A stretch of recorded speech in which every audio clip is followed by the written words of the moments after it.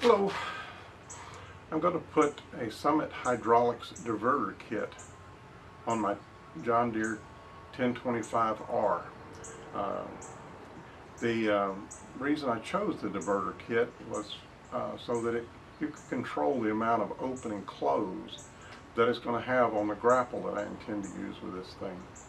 I have a WR long on another tractor um, and it has the buttons on the side, the, the little toggle switches, which works really good for brush because I mean you're trying to crush it and mash it up inside there and get it to stay. But I put a ladder in the, in the grapple one time just trying to move it around the property and it put a few marks on it because you really can't control how this thing's going to close. The diverter kit uh, should allow that because basically it diverts the control from the curl and dump function into the grapple. So it should be able to let me just do a little bit of open and close on it, a little bit softer. John Deere 1025R. So um, I'm going to take the floorboards off because several of the videos that I've watched, which I've tried to do my homework and get ready for this thing, uh, indicates that it, it, works a lot better if uh, you can see all what's under the tractor uh, to run the electrical lines and also see where the hydraulics are up under the floor. So I'll let you know how it goes. I have got all the bolts loose and the and the screws. There's a 10 millimeter on the top of this and a screw holding it here. This panel has two Phillips screws and each side of this has two 15 millimeter uh, bolts that hold it down. So I'm going to go ahead and take the uh, panels off of it, removing the oops, I've got to pull that off.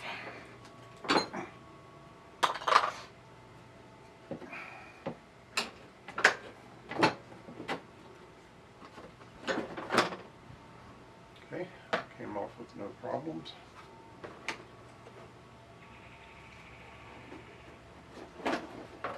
That just fell off. Wonderful.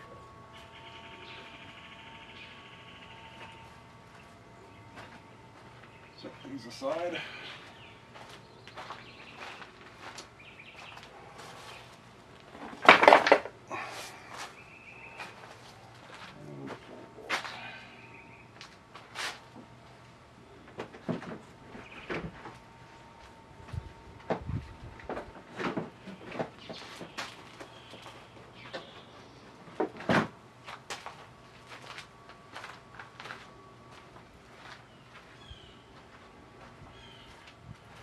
Differential lock on this side is bumping it. So I had to easier to come around on this side so I can figure out how to work it. There are two fuel lines that are hooked into the floorboard on this side of it. And out she comes. A little dirty.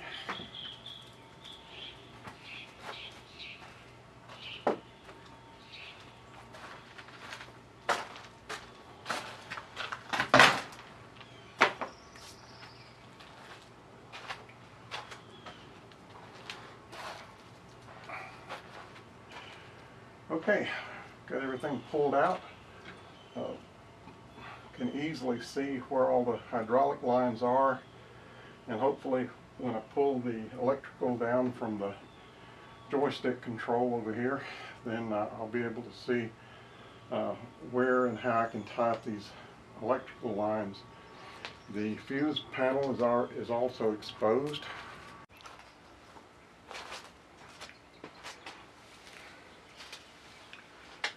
Okay, um, continuing on with this, the uh, diverter kit that I ordered uh, from Summit left Arizona, went to Texas, from Texas it wound up in Jackson, Mississippi, and then on to Atlanta. There the package decided that it wanted to go visit Greensboro, North Carolina for some reason. So instead of be delivering yesterday, uh, we're waiting on it today. Um, then it went back to Atlanta and then today is finally out for delivery from Evergreen, Alabama. So while I was waiting, I took the opportunity with all of the covers off to grease the four or five grease fittings that are in the underneath the floorboards that you can see. And I'm 60 plus years old and trying to crawl under a tractor uh, don't have the fancy lifts that TTWT has, so uh, yeah, it's a little harder. So taking the opportunity to go ahead and, and do some greasing of the universal joints um, and uh, taking a look at the uh, adjustments for the tractor uh, cutting height. Uh.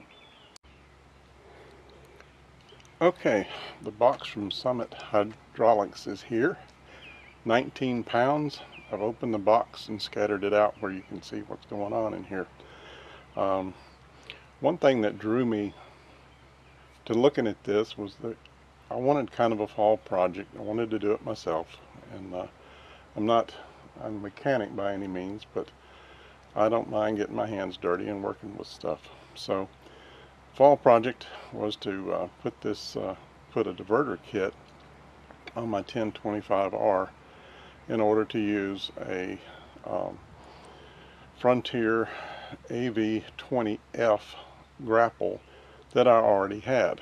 I have a small utility trailer and I don't have a trailer big enough to haul tractors around or a truck big enough to do that so um, what I've got is two tractors so what I wanted to do is be able to use that between the two um, I looked at a, another company's kit that came fully included but it was a bit pricey. I mean the the kit the WR long that's on my other tractor they go from anywhere from a thousand to fifteen hundred dollars for the John Deere dealership to put them on.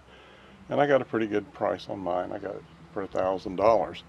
That's still a lot of money. So looking for something less. This kit from uh, Summit Hydraulics was $525 um, purchased from their website.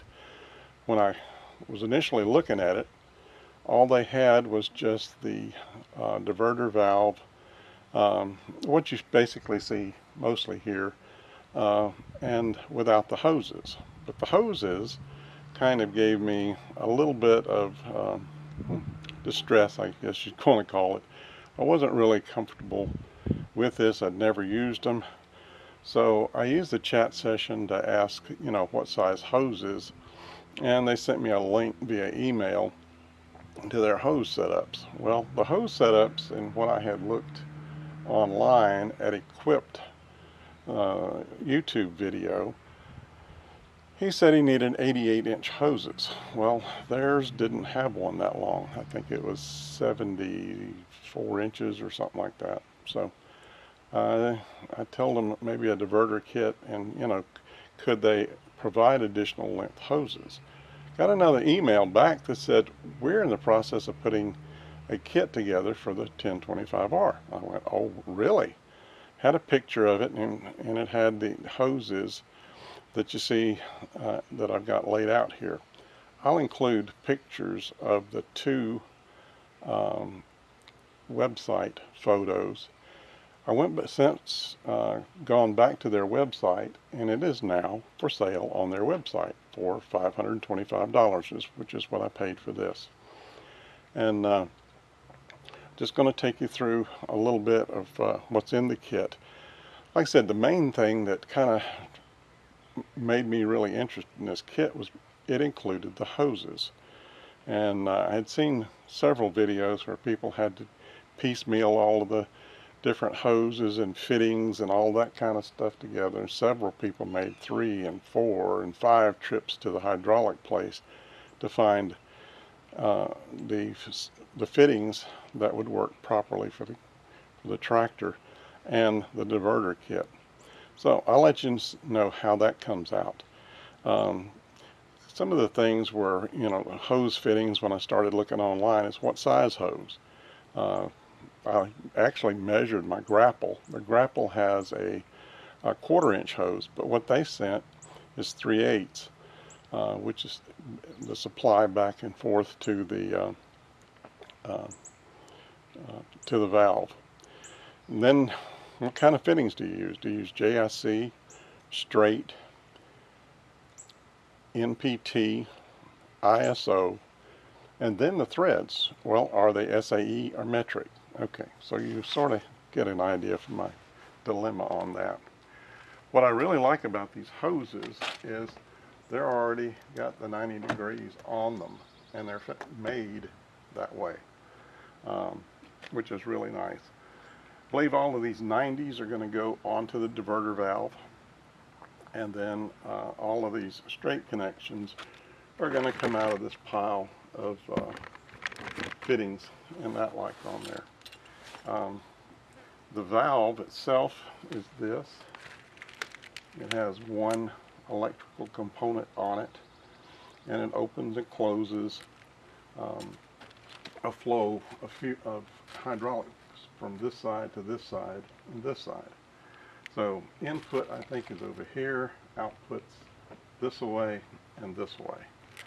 Uh, but it came with some instructions which I've cursory read through. They're a lot like ones I had seen online, so I feel really comfortable with it.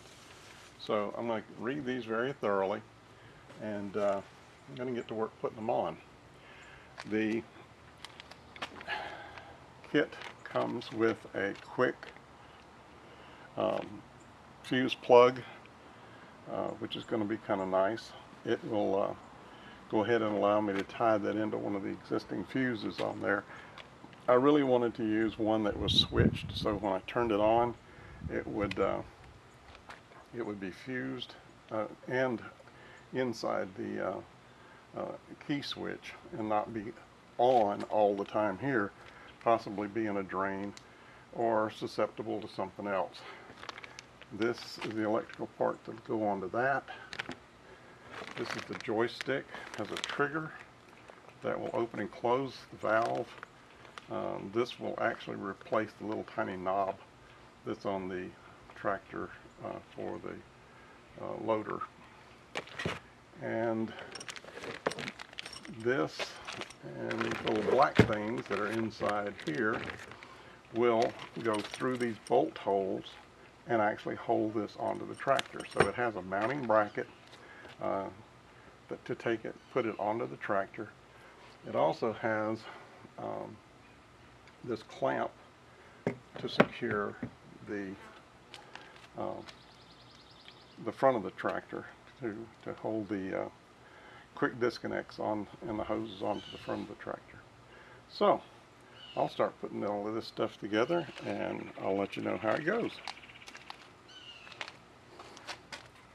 Okay, I've read through the instructions and this is what I believe. The hoses, there are three sets of hoses. The long ones go to the front of the tractor where I'll use those to mount to the grapple. The shorter hoses will go from the valve back to the hard lines that are already on the tractor. These hoses that are a little bit longer will replace the two hoses that are already connected to the tractor. Uh, currently, they go from the um, female connectors on the tractor to the hard lines. So those are the different uh, hoses. There's six of these um, male and female uh, JIC um, connectors. They will go to all six of these red spots on the valve. I'm going to go ahead and probably put those on. Uh, but and then these are the 45s these 45s will go on this end and go to these male connectors that will be replaced um, re replacing those two hoses. So those will go together. Not quite sure what those two go to um, but there are some differences in the uh, in the tractors. Mine's a 2016 so it has straight line hoses coming out of the um, straight line coming out of the hard lines on the tractor. And the newer ones seem to be, they may be 90 degrees, so it may be used in that for it. I went ahead and put the uh, connector, um, the clamp that will hold it onto the tractor on. I said earlier these were plastic. They're not. They're metal. So um, this will be what actually holds the uh, valve onto the tractor. And I didn't mention, but there were some zip ties in there. Um, okay, start putting stuff together. I took all that group of six um, connectors, put them on the valve, just screwed them down hand tight for now. Went ahead and left all the coverings over them to keep all the dust out. The 245s, I connected to this and those, yeah, the 245s and then the male uh, quick disconnects I attached to that. Had a whole bunch of uh, dust caps, things well. You can tell it's pretty heavy the way that thing just clunked. So I'm going to go to the tractor and start putting it on from there. I'm not following the instructions exactly because I had it laid out here. It was nice and open. It was easy to get to for those valves, so I just took advantage of that. I have come into the tractor shed and I've mounted the valve on the loader bracket. Um, mounts to the inside. The clamps easily slide on there. The bracket is sort of like an A if you want to think of it that way. Not real quite as steep, but uh, it's tighter at the bottom than it is at the top. So once you kind of get it on there, um, keep it, says to keep it loose. That way you can move it up and down, just uh, the natural flow and fit uh, for the hoses. Next thing we're going to do is take off the top two um, hard lines from their flexible hoses.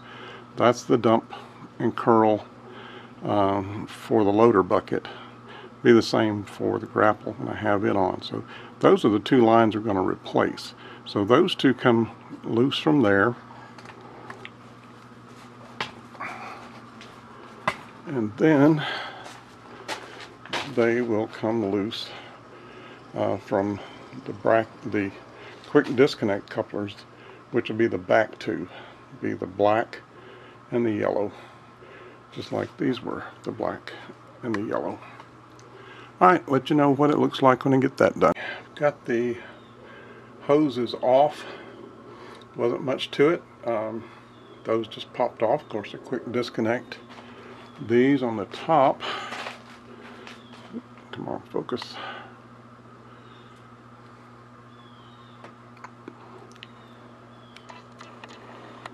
they were uh, a little harder. One one was actually pretty easy. The other one had to mash pretty hard.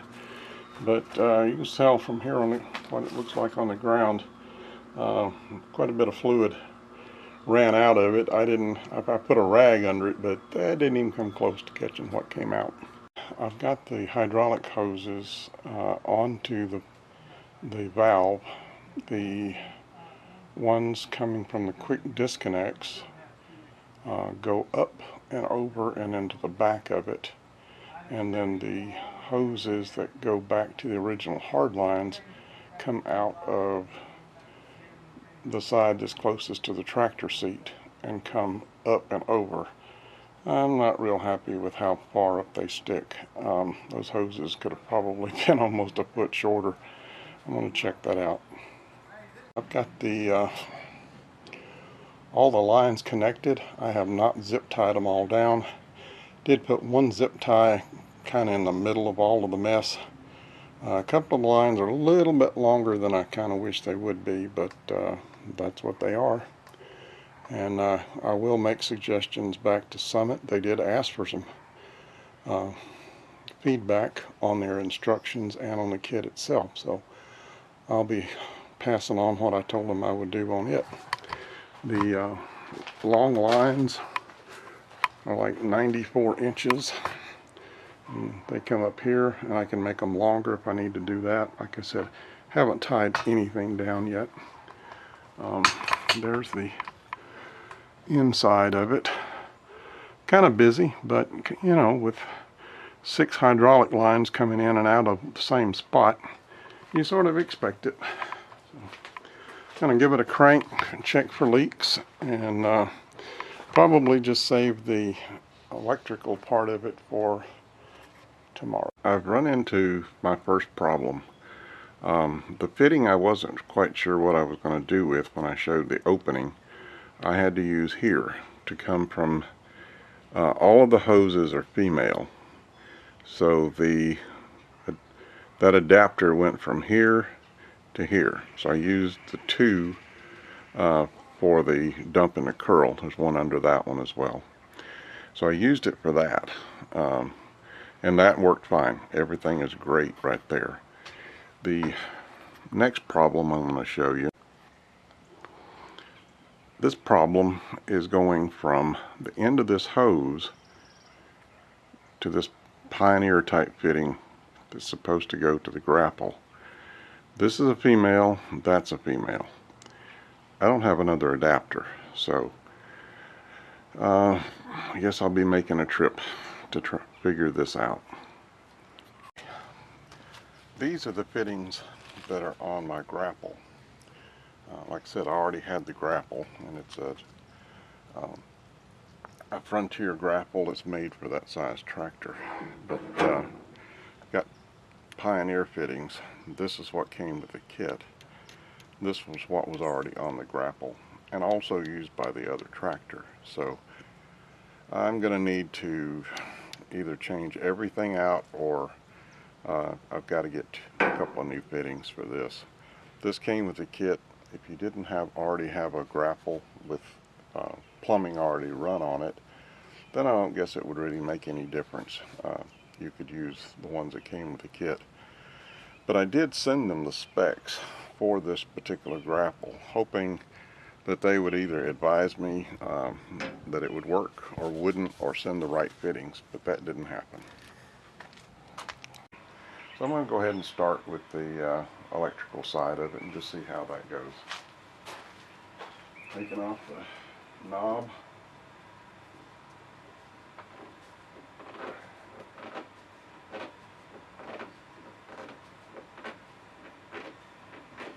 Mine's actually loose enough I can do it with my hand with a rag over it. Of course, my hands are coated in a little bit of hydraulic fluid from I'm doing all the hoses and stuff. So.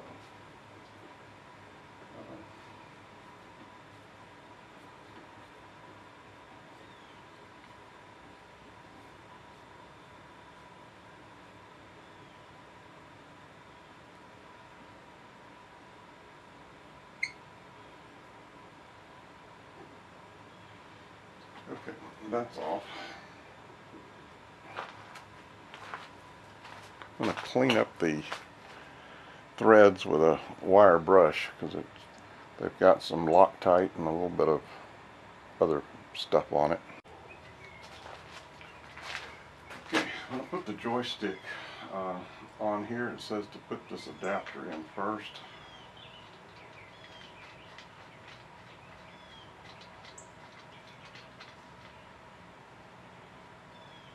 I went ahead and tied up this bundle of cables because it's got to spin as I put this on here and rather than try to uh, have it dangle all over the place I just put it up close.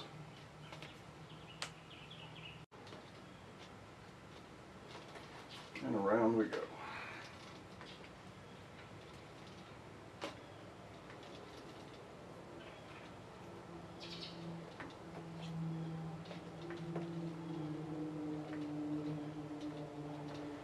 and it's a fairly long amount of threads on here so it's going to take it a few spins. Alright getting kind of close. So I'm just going to get it in here about where I want it. Everything seems to be really tight there so I think that's where I'm going to leave it. Then there's a boot up under here. Uh, I'm going to take that loose and feed the wires through. I pulled this up. I went ahead and cut the um, end off of this red wire which had a fuse holder on it which was impossible to get through there. And uh, I'm not going to use that fuse holder because they added, in the kit has an add a, an add a fuse. And so that's what I'm going to use uh, from the kit for that. So now it's just a matter of routing the wires uh, down through alongside the um, hydraulic connections on this side of it. And they feed down without much of any problem. Okay, okay, I've got the uh, wires routed from the joystick down through, zip tied them to several of the uh, hard lines down there to keep it nice and secure. The plug that plugs into the uh, uh, solenoid assembly uh, was quite long. Actually came out to about right here. Not, haven't secured it yet. Ran the power cords up into the fuse box and uh, I cut off about eh, a foot of the red cord since I won't need quite as much as they generously gave me. Looped the black wire over into the firewall and attached it uh, down to the grounding strap. It had a um, wire connector on it already. That was exactly the size of that uh, bolt, which I did need a um, 12 millimeter to get the bolt off. But all the wires stayed in place, thank goodness. They didn't go ever, well, there weren't two wires on it, but they didn't, they stayed right in, in place. It was very easy to do. So I've got that done. Now, I guess I'm off to Tractor Supply to get those hydraulic parts. Took off one of these lines so that I had the line with me, had to correct, uh, so something like I actually screw in. So went to uh, Tractor Supply and was able to get um, male and female Pioneer fittings that matched the grapple and this adapter um, they didn't have but one. So off to the Mary Chases to our tractor places which thankfully for me we have three of them um, went to all three and uh, came away with this. They didn't have a 3 eighths to a half so we had to go with an adapter. But this was four dollars and this was five dollars so not much difference. Uh, got it all taken care of. I get it put on I'll let you see what it does. Making the final connections for the electrical I put the uh, add a fuse in and um, I told you earlier I had grounded it this is the final part this is the part that uh, goes uh, to the joystick connection. Um, there is a little screw. I'll just point that out that you might want to make sure you open it not in the grass or somewhere like that because that thing can fall out. It didn't for me because I happened to see it before I did that so I was very careful. But uh, just keep that in mind as you're opening it. The rest of it is really simple. Um, has three plugs that are over on the um, solenoid, which I really can't show you very well in there now because all the hoses and stuff. It just simply plugs in. Mine's oriented uh, so that this part comes down so water don't get in it. All of that looks good. Well, finished the project. Uh, everything's on the tractor and uh, just going to give you a quick walk around. Like I said, this is a um, 2014 uh, John Deere 1025R tractor. This is the grapple that I already owned. It's a AV20F front by Frontier, John Deere. Um, connects with the JDQA attachments. These are the connectors, the way it attached attached uh, with the bracket and all the hoses. Happy with that. It's well out of the way of the grapple. Hose is routed up through this way. These were the original hard lines, black and the yellow. You see those. Uh, sort of pulled these back. They did stick up in the air quite a bit. Uh, pulled them back. They're really out of the way. I really haven't had any problem with them. Um, could have been a little bit shorter and uh, left that feedback for Summit. The uh, quick disconnects are down here. They do a good job with that. Um, I did. Well, I'll show you just a little bit about the uh, joystick control and uh, the way it actually is working for me. The joystick is really nice. I like the way it feels. Um, kind of feels like a, you know, airplane type thing. Um, has a trigger. This is what triggers the diverter valve. Um, makes it uh, use the the curl up, curl down functions to open and close the grapple. Um, I'm going to crank it up and just show you how that works.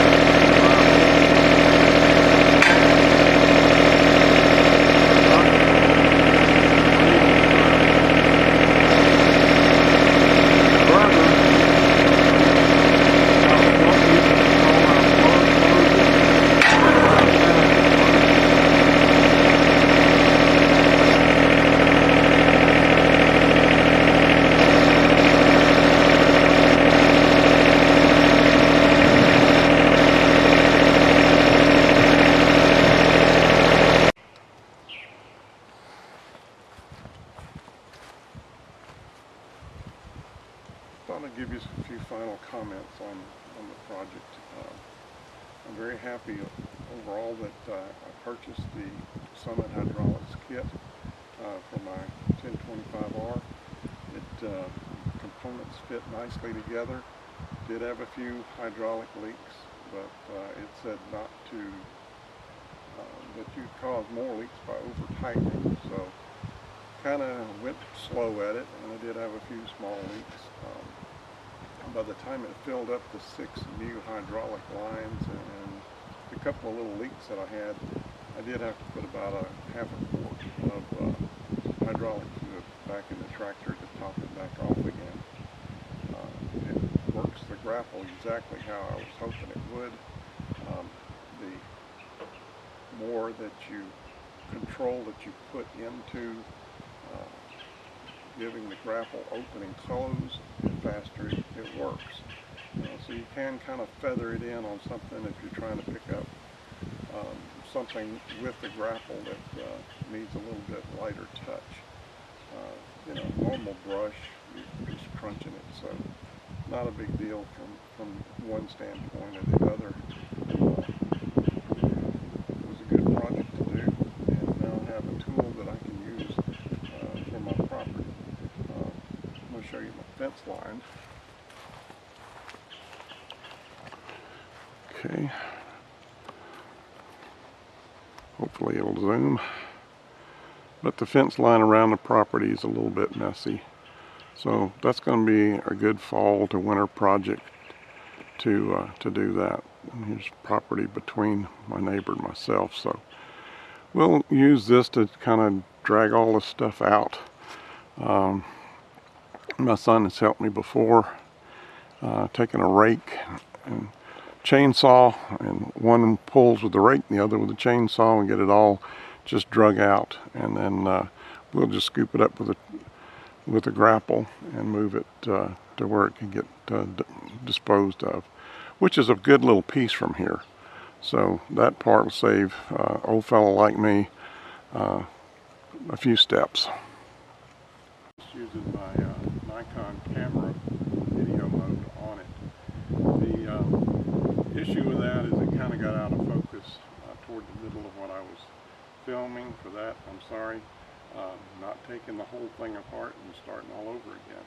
So just use it for what it is, just entertainment value.